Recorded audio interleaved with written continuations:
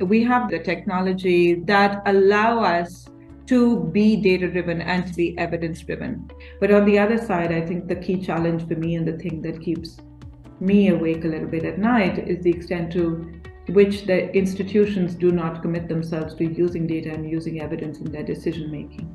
We produce and use data to really understand and measure the extent to which IFAD has made a difference on the ground, as well as knowing as to where it did not make much of a difference. This overall commitment is something that I'd like to see reflected in the overall donor community, and especially for agencies and organizations that are committing themselves to making a difference on the ground. It's really important to understand a food system includes not just the production agents or the farmers, but it also includes everyone who's in the value chain and helping to market and to process and to deliver food as well as non food items.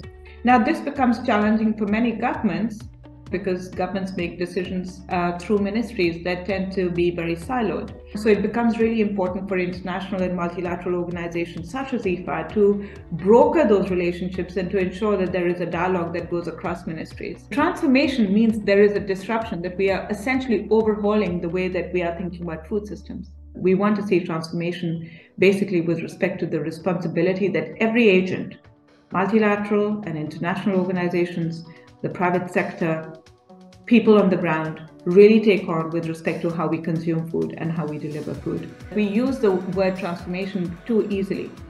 And I think we've got to define it with respect to, again, data. The important thing about data should be that it is representative. Because anything else is a story, is an anecdote. But when data is systematic, when it is representative, then helps us to understand and to measure food systems. And what we cannot measure, we cannot treasure.